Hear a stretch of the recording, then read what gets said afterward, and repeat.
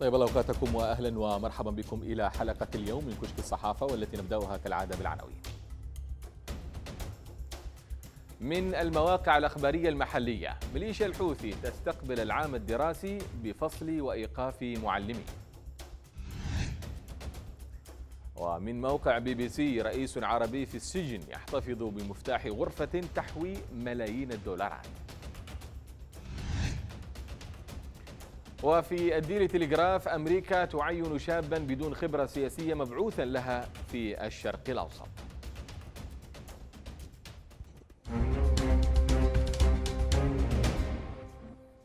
أهلا بكم.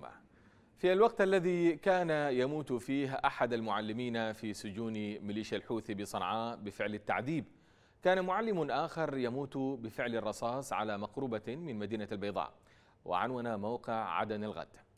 ميليشيا الحوثي تعدم معلما يمنيا أمام بناته.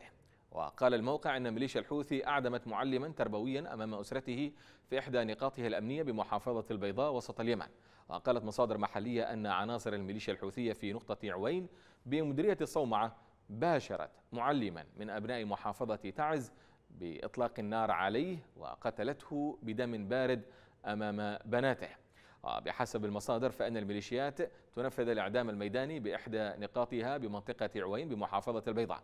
وأضافت أن هذه الجريمة تضاف إلى جرائم سابقة ترتكبها نقاط الميليشيا المنتشرة على طول الطريق العام بمحافظة البيضاء الرابطة بين المحافظات الشمالية الواقعة تحت سيطرة الحوثيين وبقية المحافظات الجنوبية والشرقية المحررة.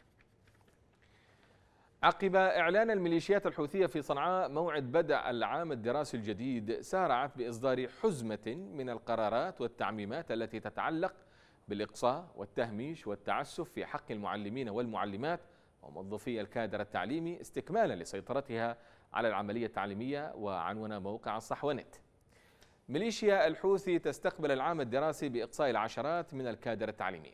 وأكدت مصادر تربوية بصنعاء أن قيادة ميليشيا الحوثي المسيطرة على التربية والتعليم أصدرت قرارات أو قرارات إقصاء وتهميش لمن تبقى من المعلمين في المؤسسات التعليمية بمناطق نفوذها. ولفتت المصادر إلى أن إصدار الميليشيا أوامر وتوجيهات أخرى وصفت بالجائرة والتعسفية استهدفت معلمين ومعلمات ومديري مدارس ووكلاء وتربويين رفضوا الانضمام إلى الميليشيا أو الاعتراف بأفكارها الطائفية السلالية. وكشفت المصادر التربوية عن قيام الجماعة الحوثية خلال الأسبوع الماضي بإقصاء 15 مدير مدرسة و60 معلما ومعلمة من وظائفهم في عدد من المدارس أمانة العاصمة ومحافظتي صنعاء وإب. وطبقا للمصادر فقد أصدرت جماعة الحوثي عددا من التعميمات الخاصة التي شددت فيها على منع غياب أي معلم أو معلمة رغم استمرار مصادرتها لمرتباتهم للعام الثالث على التوالي. عقدة كلوديوس في الميناء. تحت هذا العنوان كتب سلمان الحميدي مقاله المشهور في موقع المصدر أونلاين. الانتقاص الذي يتعرض له اليمن محبط والنكال الذي يتعرض له اليمني أكثر احباطا. كل ذلك مدعاة لتقليب أوراق الماضي لنشعر بالفخر وسط انتقاص التافهين. في أجواء يتسيدها غبار المعارك وروائح البارود. على اليمني أن يصنع من استخفاف الآخرين محفزا لبناء بلده. عقدة النقص كانت سببا في نهضة اليابان. يقول مؤلف كتاب العرب من وجهة نظر يابانية يدلل كيف كانوا يعيشون وكيف جعلتهم حفلة الختام في الحرب العالمية الثانية يعيشون على عقدة النقص. الساموراي يماثل القيل والتفوق الأمريكي يماثله تفوق الخليج وإن كان تفوقا ماليا ضالا. الضربة التي تؤدي إلى مقتل 300 يمني توجب علينا استشعار عقدة النقص واستغلال ما يحدث للعمل والتطور. بعد ليلة الغدر في عدن عندما سيطرت ميليشيا الانتقال المدعومة من الإمارات ظهر وزير الداخلية يتألم بكبرياء المكابرة الأليمة لم تقتصر على الميسري بل عمت نفسيات اليمنيين وضاعفت من ذلك عندما ضرب طيران الإمارات جنود الشرعية عندما أوشكوا على استعادة عدن. تتضاعف التعاسة حين نجلبها من هذا التفوق التفوق الإماراتي وكأننا نرغم الملك التبعي أن يبذل جهده ليكون مثل ضاحي خلفان. استشعار عقدة النقص مهمة للخروج بأفكار تناوش رغائبهم المستعلية. هم لا يئلون جهدا في تفكيك اليمن. يغردون ويقصفون. يفعلون ذلك ليس حبا في الجنوب ولا انتقاما من الشمال وإنما احياء لمطامع قديمة تتحكم في من يرى نفسه كبيرا في المنطقة. استشعرت شخصيا عقدة النقص كابرت وكان لابد أن أبحث عن كتاب يعيشني في أحداث العظمة الماضية لليمن السعيد. وقع الاختيار على كتاب غريب اليمن وأنبياء التوراة. تحت أشعة الشمس وسط مدينة تعز وقفت أمهات وزوجات معتقلين قتلتهم غارة للتحالف على سجن دمار وعنون موقع الحرب 28 أمهات المختطفين تطالب بلجنة دولية للتحقيق في غارات جوية استهدفت سجنا للأسرى في دمار طالبت رابطة أمهات المختطفين بمحافظة تعز بسرعة تكوين لجنة حقوقية دولية للتحقيق ومحاسبة مرتكبي جريمة قتل عشرات المختطفين والمخفين قصرا داخل سجن كلية المجتمع بدمار ونفذت الرابطة وقفة احتجاجية أمام مبنى المحافظة وسط مدينة تعز للمطالبة بسرعة إطلاق سراح جميع المختطفين والمخفين قصرا من جميع سجون ميليشيات الحوثي. وقالت الرابطة في بيان لها نستنكر الصمت الحقوقي والدولي والإنساني تجاه هذه الجريمة اللا إنسانية ونطالب بسرعة تكوين لجنة حقوقية دولية للتحقيق. أكد مصدر مسؤول بوزارة الصحة الخاضعة لسيطرة ميليشيا الحوثي أن الجماعة أعلنت مؤخرا وكعادتها الحرب على منظمة أطباء بلا حدود وغيرها من المنظمات الإنسانية العاملة في اليمن. وعنون موقع مأرب بريس. انتهاكات حوثية تطال منظمات صحية أممية ومؤسسات دوائية محلية. وكشف مصدر خاص عن منع الميليشيات دخول شحنة مساعدات طبية تابعة لمنظمة أطباء بلا حدود الهولندية عبر مطار صنعاء. قال إن جماعة الحوثي الانقلابية وجهت عبر وزير صحتها في حكومة الانقلاب غير المعترف بها طه المتوكل بإغلاق جميع مخازن الأدوية التابعة للمنظمة لأسباب لم تفصح عنها متجاوزة في ذلك كل التحذيرات الأممية الخاصة بعرقلة دخول المساعدات الإغاثية سواء الغذائية أو الطبية المقدمة لملايين المحتاجين في اليمن.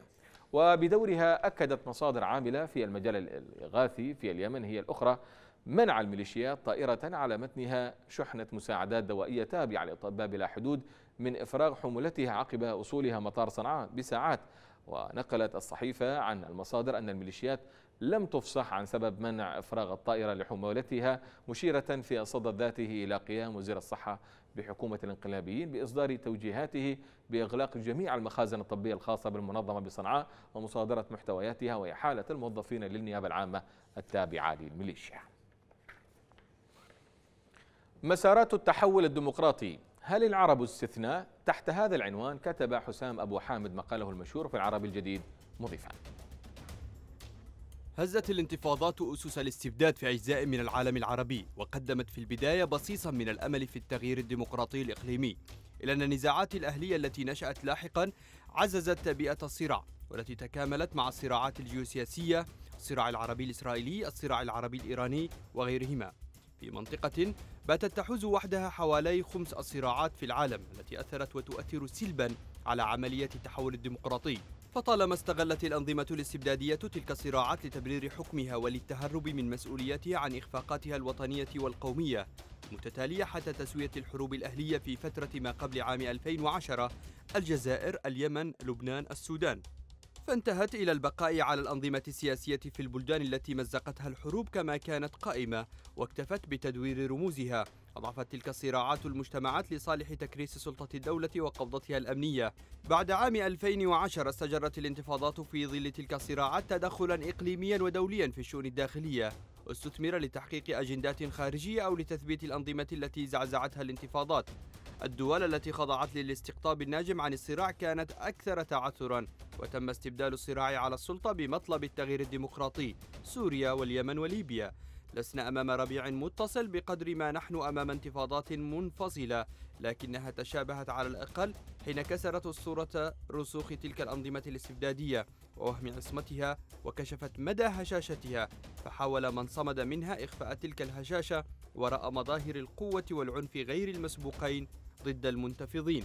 صحيح أن معظم الانتفاضات أخفقت في الوصول إلى ضفة الديمقراطية وتعثرت في مساراتها وكانت نتائج بعضها كارثية لكن ذلك لا يبرر الإقرار بتلك الاستثنائية العربية المزعومة بمعناها السلبي ولا يدفعنا إلى القول بنهاية الربيع العربي الذي أصبح يوتيوبيا تعارض الواقع بالمثال وتلهم ملايين من الجماهير العربية هنا وهناك وسيبقى هذا الإلهام مستمرا في ظل استمرار الواقع الذي يعارضه مثل اليوتيوبية يبدو أسوأ مما كان عليه قبل عام 2010 عام جديد وانقسام بدء الدراسة في اليمن.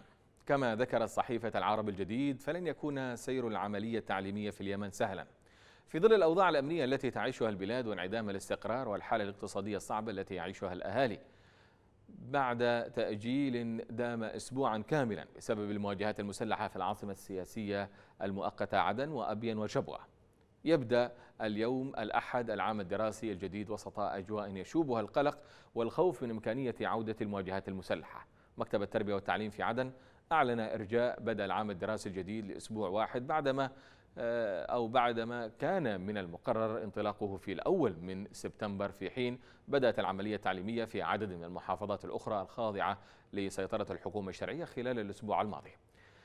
عفاف ناصر من سكان مدينة عدن قالت إن إنه حتى اليوم لم نشتري المستلزمات المدرسية ولا نستطيع توفير المال لا سيما وأن الأسعار ارتفعت بشكل كبير جدا وأسواق عدن فارغة. وتضيف لدي ثلاثة أطفال في المرحلة الأساسية والإعدادية يحتاجون إلى حقائب وأدوات مدرسية وزي مدرسي لكننا فشلنا في شرائها لعدم توفر المال فالحرب حدت من قدرتنا على التحرك للبحث عن الرزق. العملية التعليمية بدأت في مدينة تعز المحررة والخاضعة للحكومة الشرعية في حين آه، تتأخر المدارس الواقعة في المناطق الخاضعة لسيطرة الحوثيين حتى منتصف سبتمبر الجاري. حدث غير اعتيادي في فرنسا كما تقول صحيفة فرنسية أو تقول صحيفة لوفيغارو الفرنسية حيث أمت امرأتان صلاة مختلطة في باريس في حدث غير مسبوق للعبادة الإسلامية في فرنسا. وأشار أحد صحفي وكالة فرانس بريس أن إيفا جنادين إحدى من إحدى المرأتين إحدى المرأتين قالت خلال خطبتها أمام أكثر من ستين شخصا في قاعة مستأجرة لهذه المناسبة. هذه اللحظة مهمة لإسلام فرنسا خاصة وأن هذه الصلاة آه، تجعل من الممكن ضمان المساواة بين الرجل والمرأة في هذه العبادة الإسلامية. في القاعة اختلط الرجال والنساء كانت المواعظ باللغة الفرنسية. تم ترجمته ترجمة كل الصيغ العربية بشكل منهجي إلى الفرنسية. وتضيف الصحيفة أيضا كانت بعض النساء يرتدين الحجاب والبعض الآخر لا يرتدين الحجاب وخاصة الإمامتين. إحداهما كانت ترتدي تنورة طويلة والأخرى الجينز. إيفان جنادين وآن صوفي كلاهما اعتنقتا الإسلام منذ عدة سنوات أردتا أن يترجما رؤيتهما للإسلام التقدمي والمستنير من خلال أعمال ملموسة. أنسوفي رحبت بهذا الحدث قائلة بأنه اليوم مع هذه الصلاة الأولى يتحول الأمر إلى حقيقة واقعة وإلى حقيقة واقعية أو واقعة آه، آه، ووفق ووفقا لهن فإنه على سبيل المثال لا يوجد نص في الدين الإسلامي يعارض إمامة النساء. تهذيب السياسة الدولية تحت هذا العنوان كتب سلام الكواكب مقاله المنشور في صحيفة العرب الجديد مضيفا. صارت الصفاقة السياسية عملة غزيرة التداول دوليا بعد أن شهدت الساحة الغربية بروز زعماء من اليمين المتطرف. لا يمنع أي سبب مسؤوليها من التفوه بالعبارات البذيئة. عربيا وفي ظل شبه انعدام كامل للممارسات الديمقراطية وللانتخابات الحرة برز زعماء عبر الكلام اللاذع واللسان السليط كانور السادات ومعمر القذافي وصدام حسين وحازوا عبر هذا المستوى من التعبير شعبية لدى بعض العامة باعتبارهم لا يهربون من قول الحقيقة مهما كانت فجة. وحديثا ساهمت وسائل التواصل في تعميم ذائقة شتائمية وما دون أخلاقية في التعبير عن أمور شتى ليست بالضرورة سياسية فحسب.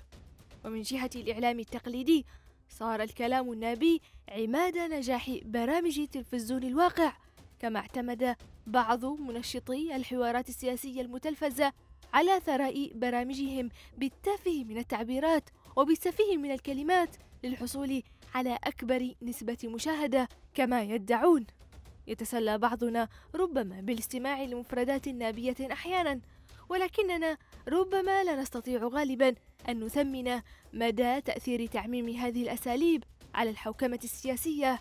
وإحدى أهم النتائج السلبية لهذه اللغة إبعاد ناس كثيرين عن المجال العام نشاطا ونضالا والتزاما باعتباره مشهدا بذيئا لا يمكن إلا أن يصيب من ينخرط به بموبقاته اللفظية وبممارساته المنحرفة. وصار العمل بالسياسة لدى بعض العامة منبوذا كما هو العمل في الفن لانتشار اعتقادات متخلفة. تعتبر من يزاولون الفن متحللين من أي روادع أو قيم. في زمن صار فيه تعريف القيم منوطا بمن هم أبعد الناس عنها في الواقع.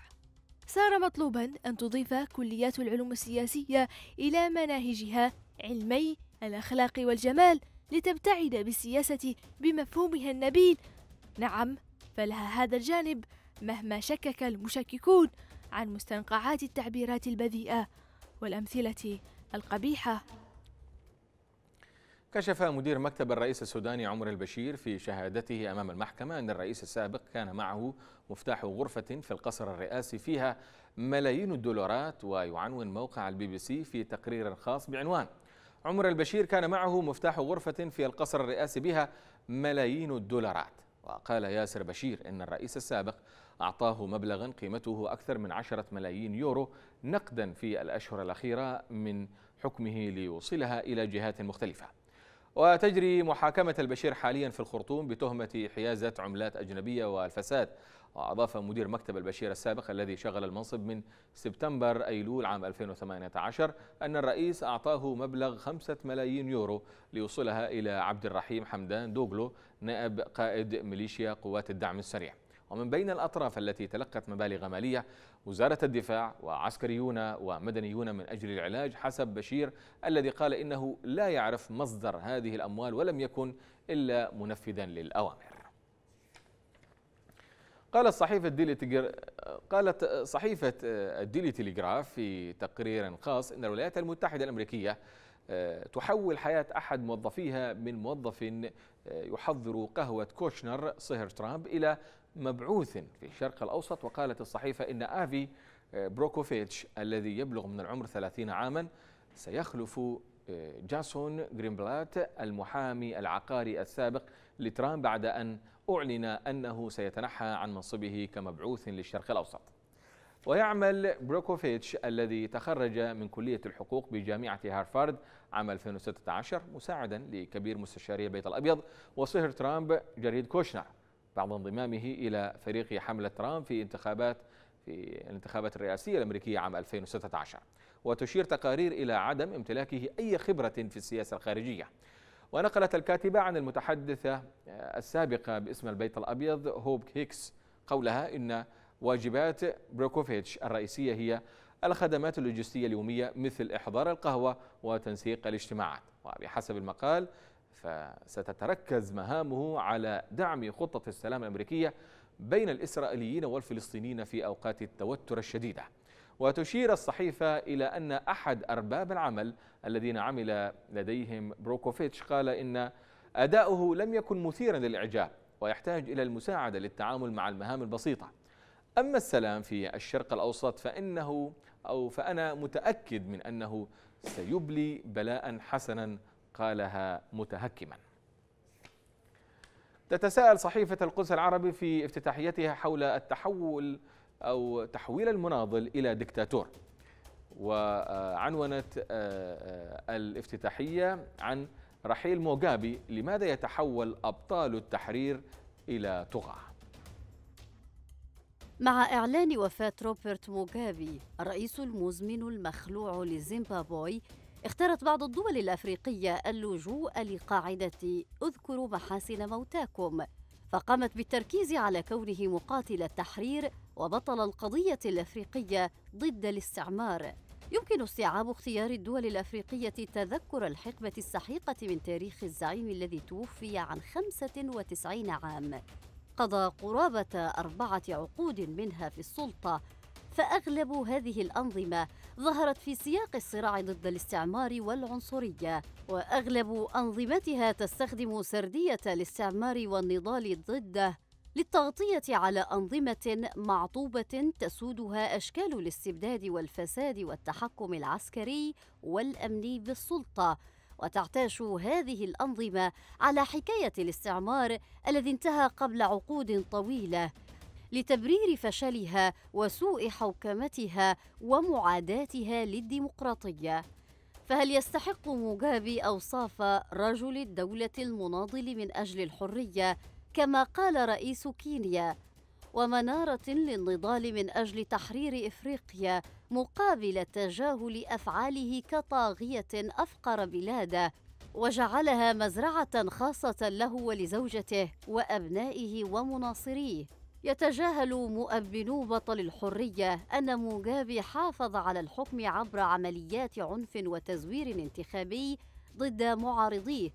وطرد آلاف المزارعين البيض من أراضيهم ليسلمها للمقربين من النظام ولأشخاص لا يفقهون في الزراعة مما أدى لأزمة اقتصادية كبرى لم تخرج البلاد منها حتى اليوم. وقد تورطت زوجته الثانية غريس وهي أصغر منه بأربعين سنة في فضائح كبيرة داخل وخارج البلاد. وفي ضوء السيطرة المطلقة بدأت الصعود لخلافته في رئاسة الدولة. لقد تحولت زيمبابوي في عهد موغابي إلى دولة فاشلة منبوذة.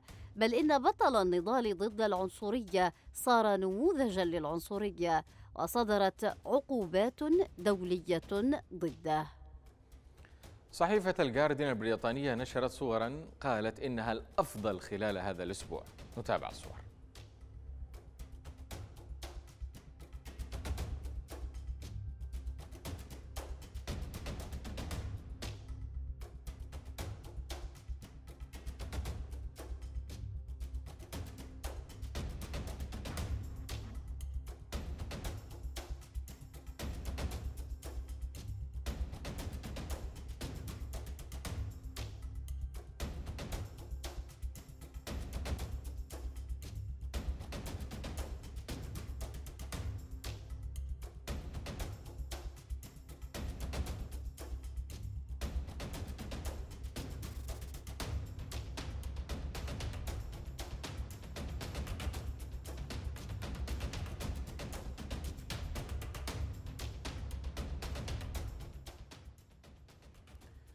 لكل إنسان الحق في التعبير وقول وجهة نظره. هناك من يعبر بالكلمات والصور وهناك من يستخدم الفن لنقل ما يعتقد ومن بين الفنون الكاريكاتير الذي أصبح أسلوبا لقول الكثير. نتابع الصور.